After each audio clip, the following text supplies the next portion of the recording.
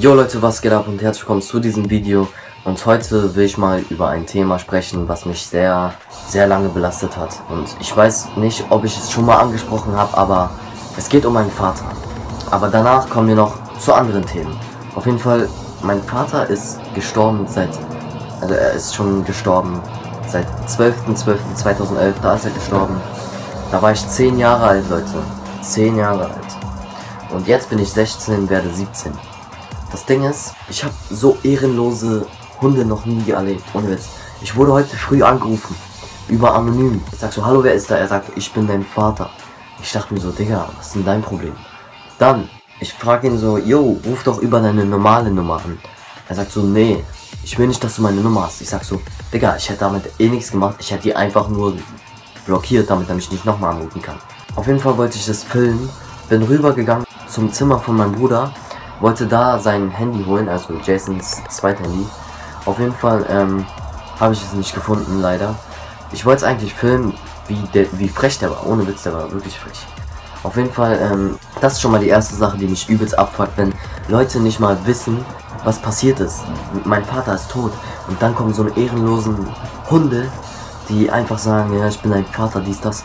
Leute, ohne Witz, Digga. Ich stell mal vor, dein Vater wäre tot. Ich rede jetzt mit dem, der mich angerufen hat. Ich hoffe, du siehst dieses Video. Ich schwöre, ich hoffe, du siehst es.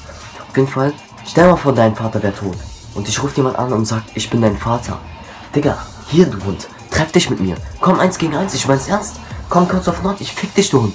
Komm, dieses Thema ist jetzt vorbei. Aber wir fangen jetzt mit dem nächsten Thema an. Was mich auch übelst abfuckt, Leute.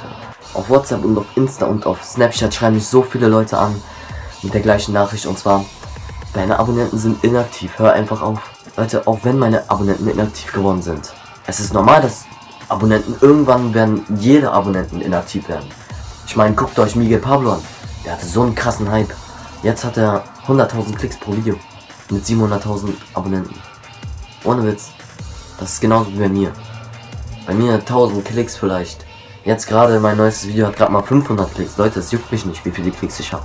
Meine Abonnenten sind inaktiv geworden, weil ich inaktiv geworden bin. Verstehst du das? Ich meine, ich rede jetzt mit jedem. Mit jedem YouTuber, der jetzt YouTube macht, der jetzt meine Videos sieht. Verstehst du, wenn du einfach mal inaktiv auf YouTube wirst, dann werden deine Abonnenten direkt auch inaktiv. Oder irgendwann werden auch einfach deine Abonnenten einfach so inaktiv, weil die einfach irgendwann keinen Bock mehr haben, dich zu gucken. Vielleicht wirst du dann uninteressant, keine Ahnung. Was mich noch abfuckt, diese ganzen YouTube-Heuchler, die irgendwelche Videos gegeneinander machen. YouTube Deutschland ist schon so gefickt, Digga. Ohne Witz. YouTube Deutschland ist so gefickt. Leute, niemand macht mehr normale Videos. Niemand macht guten Content mehr.